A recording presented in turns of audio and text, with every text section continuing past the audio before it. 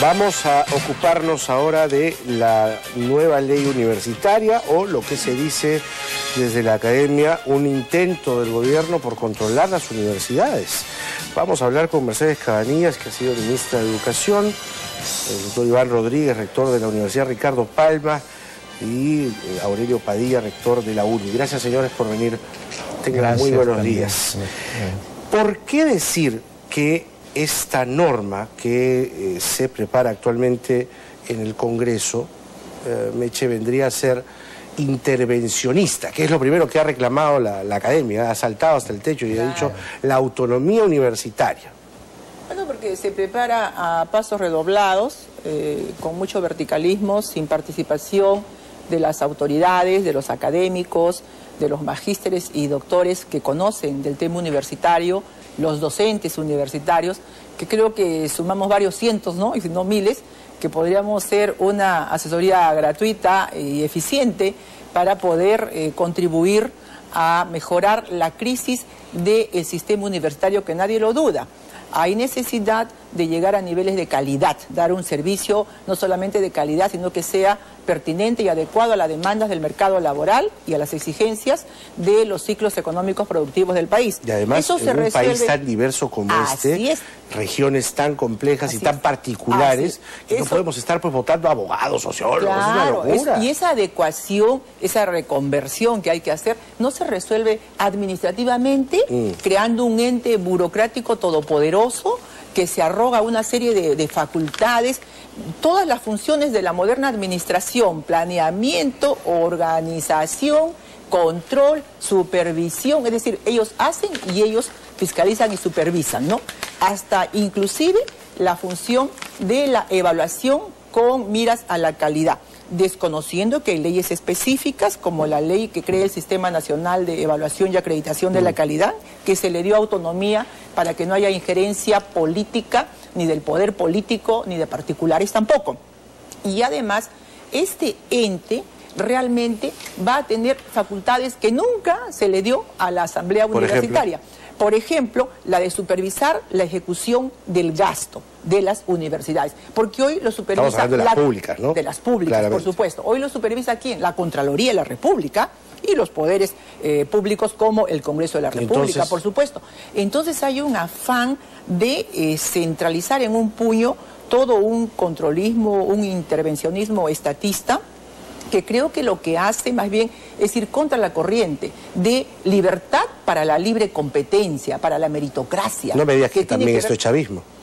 Bueno, yo sí te puedo decir, yo no tengo tampoco el fantasma del chavismo, ¿no? Alrededor mío, pero sí te puedo decir que en paralelo en Venezuela hay un ministerio del, del Poder Popular de la Educación, donde hay un viceministerio universitario con todas estas prerrogativas. Entonces, yo no sé, son coincidencias, yo no tengo por qué lanzar afirmaciones, pero hay que estudiar y hay que estar alertas, ¿no? Y sobre todo, defender la Constitución, porque el artículo 18 de la Constitución es muy clara cuando da la autonomía es académica, es económica, es normativa, es administrativa. Entonces, ese autogobierno no puede ser aplastado, allanado, diciendo, ¿sabes qué? Como hay un problema de este, incompetencias o un problema de falta de calidad, vamos a resolverlo esto unilateralmente y me arrogo todos los poderes. Iván Rodríguez, rector de la Universidad Ricardo Palma, señor Rodríguez, el tema pasa también porque si miramos hacia adentro en las universidades, tenemos varios problemas. Tenemos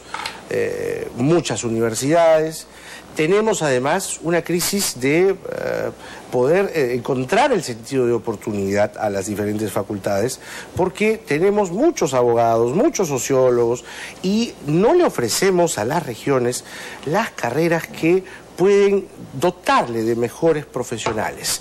Eh, si bien es cierto, esta norma tiene todo el tinte que acabamos de describir con Meche en lo político, eh, ¿qué hace la academia para mirarse a sí misma y lanzar una contrapropuesta para decir, oiga, tranquilos, nosotros tenemos esta propuesta y vamos a autorregularnos, vamos a lanzar una ofensiva para mejorar la universidad en el Perú? Porque sí necesita mejorarse.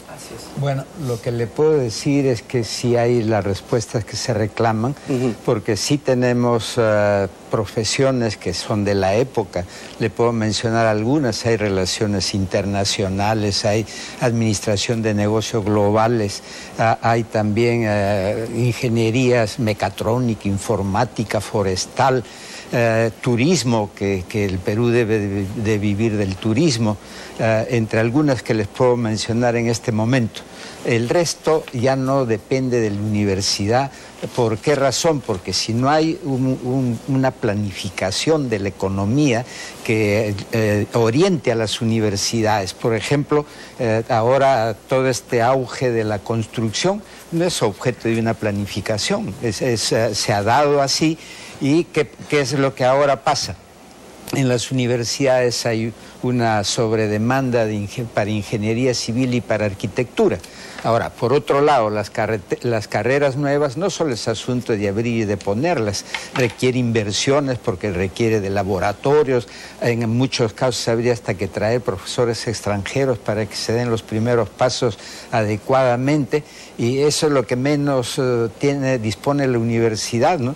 Eh, aún en las remuneraciones. Yo digo, el Perú no puede darse eh, una satisfacción de traer un premio Nobel para que dicte un ciclo de charlas, porque el régimen remunerativo es tan, tan amarrado que no es posible hacerlo y, no dispone de los medios para, para hacerlo. Entonces, lo que hay que ver es que se necesita una planificación del Estado, una asistencia. Para mí el problema fundamental es el financiamiento de las universidades. Lo que los pone en desventaja es el aspecto infraestructural, los laboratorios, las bibliotecas, los enlaces con los centros de documentación mundial que también cuestan. La universidad demanda una inversión millonaria en dólares permanentemente, no una que otra vez, sino eh, siempre. Ahora, eh, está también Aurelio Padilla, rector de la UNI, una muy prestigiosa universidad pública, pero que desde la UNI, que es un, quizá uno de los mejores ejemplos en lo que es universidad pública,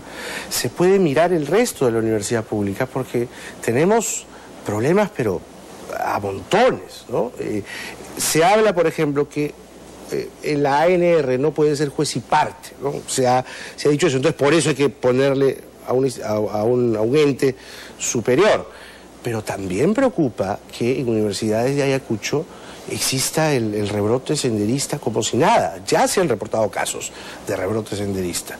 ¿Qué hacemos para que la universidad, eh, eh, por el bien de la autonomía, ¿no? porque a veces la autonomía se reclama y, se exagera también con la autonomía, ¿no? porque se eh, mantiene ciertas argollas que también hay en la universidad pública. ¿Cómo hacemos para que en nombre de esa bendita autonomía universitaria la universidad haga tarea de fiscalización y control también? Sí, Jaime. Mire, la Comisión de Educación parte de un supuesto completamente errado que la ANR no controla la creación de nuevas universidades, mal funcionamiento, eso no es atribución de la ANR, es de una comisión, desde la CONAFU, que tiene autonomía creada por ley. La CONAFU, la, CONAFU, el Consejo Nacional de Funcionamiento de Universidades. Ellos por ley le dan toda la autonomía y la ANR solamente los nombra y ya no tiene injerencia. Entonces parten de ese supuesto. la Asamblea Nacional de Rectores ha elaborado un proyecto de ley les ha entregado a, la Comisión de Educación al Congreso, donde han participado más de 100 doctores que son rectores. Entonces, eh, en una discusión amplia, casi de un año, hemos entregado. Y ese texto tiene su base en la actual ley universitaria 27733, que es buena, pero hay que modernizar, mejorar. Esta, esta propuesta es, como lo has dicho, intervencionista, controlista. Y lo peor, serían los que acrediten las carreras de las universidades, cuando la acreditación es de un ente internacional extranjero. El control de calidad de la marcha académica corresponde precisamente a los acreditadores internacionales. Ellos dirán en qué posición estamos. Por ejemplo, la UNI ha empezado a acreditar sus carreras. Riva de Londres lo ha acreditado, es una institución prestigiosa a nivel mundial. Y con esta ley yo veo, Jaime, total incertidumbre, sin conocimiento, sin información, sin experiencia, quieren pretender imponernos situaciones irracionales. Afectan a alumnos, profesores y lo más, y lo, más pernicioso, afectan a la, a la nación, porque la universidad es la base del desarrollo de la sociedad. Se habla ya, Meche, de una superintendencia universitaria. El problema no es tanto el, nombre, puede ser muy pomposo, muy repompante, pero el problema es quiénes la integran, quiénes deberían integrar esa superintendencia. Se ha hablado incluso hasta de participación de la CONFIEP. Pero mira, yo estaría de acuerdo con que entidades como CONCITEC, como CONFIEP, etcétera, tengan una participación como eh, entes consultores. ¿no? Pero lo más distante del gobierno. Claro, pero no que un órgano que está subordinado, adscrito al Ministerio de Educación, que es una entidad política, ¿no? Eh, tenga eh, de por sí ante sí todas esas competencias que he mencionado y más aún el de crear o no crear facultades en las universidades, escuelas y programas. Más allá, ir inclusive a determinar su desarrollo pedagógico. Y eso porque está dentro del órgano rector, que sería el Ministerio de Educación, que tú sabes tiene una autoridad que es el ministro, que es autoridad política, que representa un régimen. Y cuando yo hablo de autonomía en el concepto constitucional, es porque el estudio en una universidad requiere de un clima de libertad de libertad e independencia para investigar, para buscar el conocimiento, la verdad, para disentir, para, para crear realmente en el arte, en las humanidades, en la ciencia, en la tecnología. De eso se trata. Sin eso la universidad muere, se asfixia. Y sin recursos, igualmente. En el dictamen se señala de muy buena voluntad, yo creo que hay buena voluntad, de que sean obligadamente acreditadas y no conocen qué significa la acreditación. Para acreditarte como institución o como facultad, previamente tienes que hacer una evaluación externa, sea por órganos nacionales o básicamente internacionales, que a su vez fueron registrados ante el Consejo Nacional Universitario, el CONEAU, que es órgano del CINEASE. Muy bien.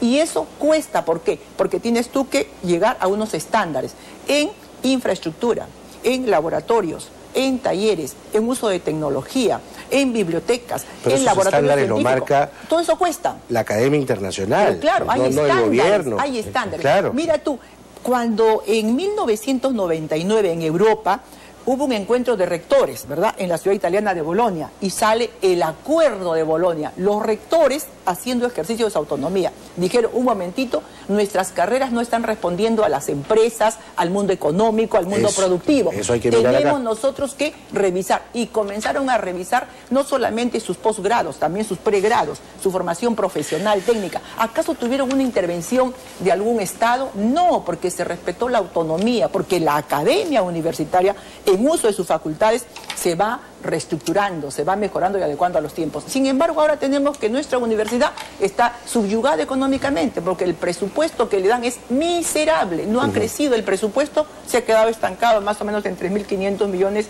para todo el sistema universitario.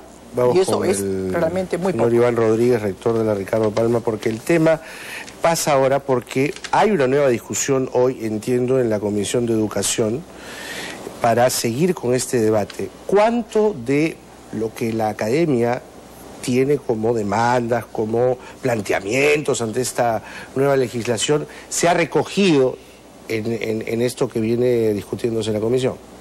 Bueno, no se recoge lo fundamental, ¿no?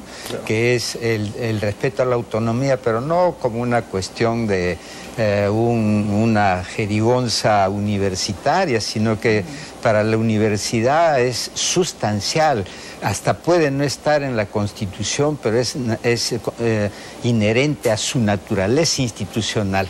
Una, ¿Por qué? Porque su fin es noble, el fin es formar a la persona y para formar a la persona necesita de libertad. Sin libertad no se puede formar a la persona. Para el pensamiento. Formamos funcionarios, robots, lo que quieran, ¿no? pero no, no formamos personas. Esa es la esencia porque desde los orígenes de la universidad, nosotros no alegamos la autonomía porque se nos ocurre. La universidad es autónoma desde sus orígenes, desde la Edad Media. Entonces nosotros tenemos ese modelo y, eh, la universidad en el Perú tiene una experiencia de 462 años de ejercicio autónomo. Entonces, ¿cómo se quiere recortar? Sí es cierto. ¿Pero la dejamos así como está? No, no, pero fíjese, todo- todos los países del mundo tienen consejos de rectores, absolutamente todos. Acá el equivalente a la Asamblea Nacional de Rectores, ¿por qué se la quiere eliminar? Mire, sería una gran incoherencia. No le puedo dar autonomía, eh, entre comillas, al primer piso y el segundo piso lo ascribo al Ejecutivo. La autonomía implica que no tenemos nada que ver con el Ejecutivo, sino en las partes de dar cuentas, como Así ocurre con Contraloría. la... Contraloría, la también. Ministerio de Trabajo. Es decir, vea, en la universidad no se puede hacer nada ilegal porque eh, la autonomía se ejerce dentro de la Constitución y las leyes. El problema es como bien dice Meche, la- la- probablemente hay buenas intenciones. El tema es cómo hacemos para catapultar a la universidad peruana, mejorarla, dignificarla y sobre todo darle a ese, a ese espacio de la universidad pública la necesidad que tienen regiones específicas. ¿Cómo hacemos para mejorar la universidad pública? Por eso se necesitan gente que tenga experiencia para que pueda proponer los cambios. Traigamos Mire, profesores también de fuera, ¿por qué sí, negarse a eso? eso? Eso lo hacemos permanentemente, hay intercambio Españoles, acá un tuitero me recomienda, dice, en Chile están contratando 150 españoles por la crisis. Claro, Mira, Hay que traerlos. Lo, lo que dijo Iván, eh, nosotros los rectores eh, como la Alianza Estratégica y otros salimos al extranjero con nuestros pares en Francia, es confe- conferencia eh, de presidentes universitarios y ellos están considerados como un ente de utilidad pública que sean los interlocutores para discutir ciencia, tecnología, cultura, investigación en el país. Y el 2007 han reforzado con una ley en Francia, dice, Ley Libertad y Responsabilidad de Universidades, que refuerza la autonomía universitaria. Nosotros tenemos eh, encuentros de rectores Perú, Japón, eh, ya eh, casi tres años, en Europa, etcétera, y en el mundo universitario la autonomía es respetada. Y con esta ley hay situaciones muy irracionales, le voy a decir. Cuando hay algún conflicto o se ha pasado la fecha de elección de autoridades, dice que esta, este ANEU, Superintendencia. sí, la super- lo nombraría. Cuando se nombra un profesor o haciendo un profesor, ellos serían los que ratifican finalmente. A los alumnos nos obligarían a votarlos si se han pasado dos años de permanencia en la universidad, sin tener en cuenta que hay alumnos que trabajan, estudian, etc. O sea, total irracionalidad. Es una situación. Y yo preguntaba, ¿a- ¿en qué modelo se están basando? No encuentro qué ningún modelo? modelo. Venezuela. Lo que sí encuentro es el- la ley eh, universitaria de Venezuela vigente aprobada en 2010, que es casi una copia. Uy, eso Entonces, sí ¿dónde bien. estamos? es ¿A dónde vamos? Lo que hay que cuidar, en efecto, es el, el espacio del pensamiento libre. Eso es Sí, lo que sí. uno debe cuidar. La esencia de la universidad es eso. Hasta para pensar crear libremente, porque si viene un gobierno, piensa de una forma, piensa de otra forma, y eso ya es lavarle el cerebro a la gente, ¿no? Y creo que de eso no se trata. Y lo peor es quieren uniformizar la actividad universitaria cuando esto debe ser diferente. Las respuestas a las necesidades tienen que ser diferentes de cada institución. Pero sí estamos de acuerdo en que urge una reforma Sí. universitaria Ah, desde adentro. Totalmente. Por supuesto. Y una autonomía adentro. moderna, ¿no? Con rendición Así de es. cuentas. Y que responda además a las necesidades de estos tiempos. Creo que ahí hay que entrar a, a- a trabajar duro. ¿no? Gracias a nuestros invitados, Mercedes Cabanillas, Iván Rodríguez, rector de la Ricardo Palma y Aurelio Padilla de la UNI, por sus opiniones y eh, observaciones principalmente a la norma que se viene discutiendo en la Comisión de Educación sobre reformar las universidades. Hay que ponerse muy alertas porque lo que no se debe permitir es que un funcionario de gobierno nombrado por el gobierno de turno entre a trabajar en las universidades, entre a querer cambiar las cosas en las universidades, porque probablemente viene a nombre de quien gobierna y quien gobierna tiene intereses que no necesariamente son a largo plazo. Gracias nuevamente por estar Muchas aquí, 7 con gracias, 58, Claudia María.